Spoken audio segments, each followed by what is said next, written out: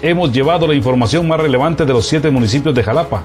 Gracias a su preferencia, seguimos comprometidos con informarles a los T21, los Chapines y el mundo. Somos notijalapa.net. Por parte de la Procuraduría General de la Nación investigarán si hay más niños en riesgo después de la muerte de la niña de tres años que murió por intoxicación, luego de consumir una pastilla de veneno. Así lo dijo el licenciado Luis Méndez, delegado de dicha institución. Sí, pues efectivamente nosotros eh, nos enteramos eh, de la lamentable noticia a través de las redes locales.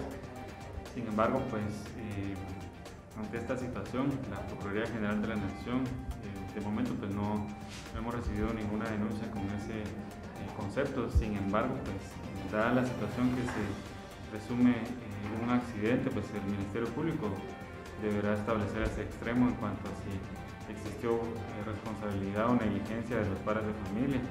Por nuestra parte, como Procuraduría General de la Nación, pues nosotros eh, iniciaremos una investigación en cuanto a establecer si eh, existen más niños que pudieran estar, si fuera el caso, en riesgo por esa situación de alguna participación por los propios padres de familia o bien establecer si verdaderamente fue algún de descuido como, como se hace eh, la referencia.